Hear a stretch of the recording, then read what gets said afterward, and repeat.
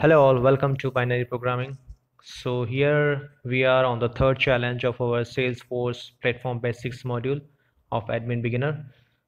So this module also has some theory questions. It doesn't have any practical questions. So we are here with our 100 points if we make it right. Okay, so here are the quiz. So let's start. So the first question is our trusted multi-tenant cloud means you get. Here we are talking about the Salesforce cloud. So the first question is the benefits of the same core set of features for all customers. This is true. Upgrades three times a year. This is also true. Salesforce upgrades itself three times a year.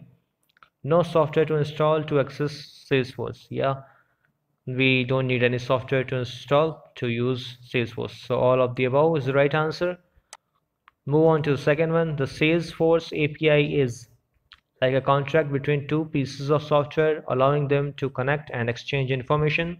This is true. Not available for certain technologies such as wearables. This is false. This is wrong. And we don't have any other option called all of the above. So the first one is the right answer. We'll move on to the third one. Metadata refers to. So metadata is always data about data.